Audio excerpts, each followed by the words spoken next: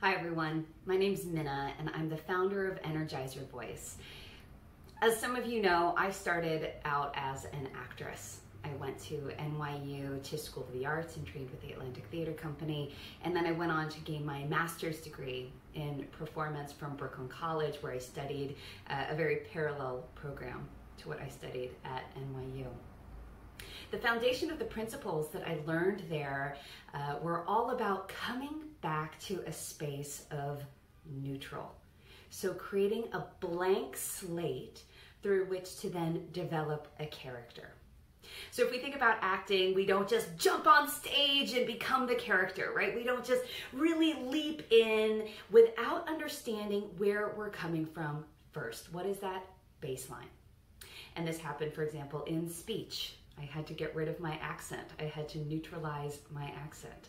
It happened in voice. I had to neutralize my body through which a full dynamic vocal range could flow and I was available to movement and expression.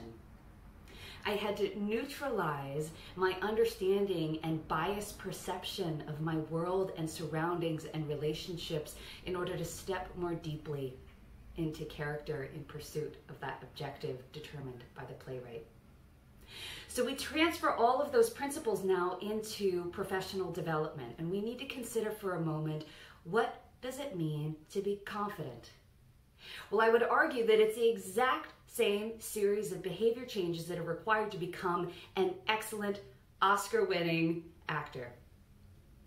Coming back to a place of neutrality.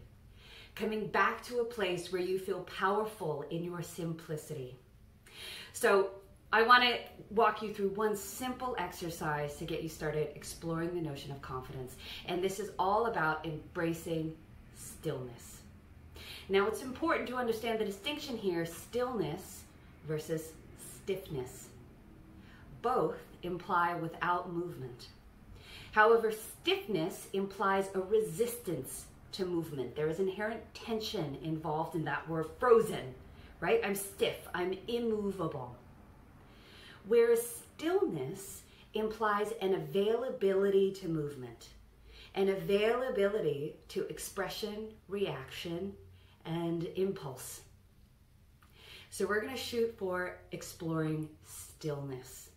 That means without movement, but available to movement. We can also think about this as effortless activation.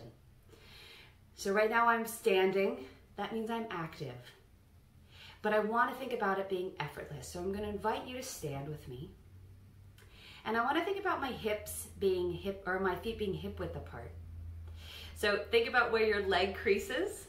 That's how far apart you want your feet. And then for your feet, you want all four corners of your foot firmly planted on the ground.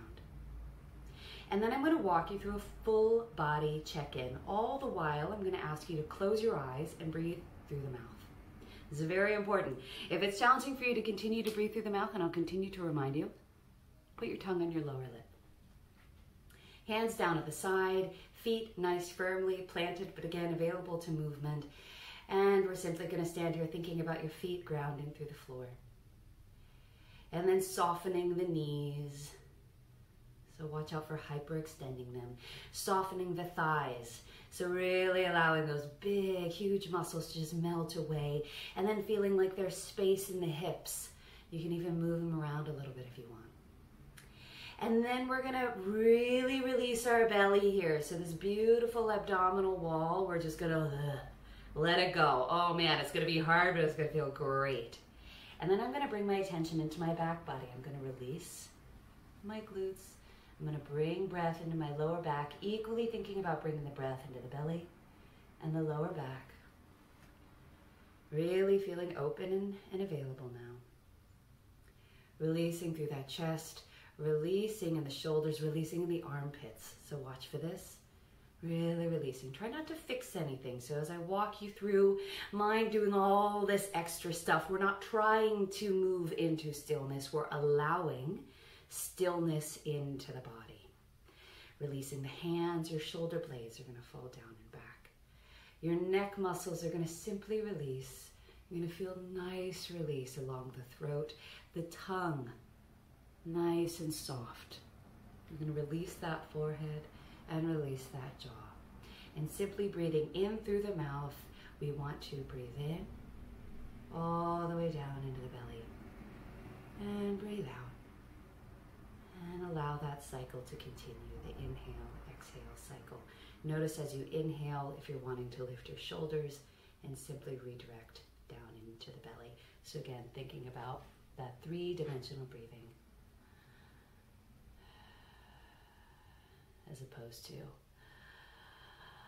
which is a shallow breath. Nice deep breathing. Simply try that for two weeks. Do that every day for two weeks. You will feel more present, aligned, and available to movement. So that level of character building or confidence building will be available to you. Let me know how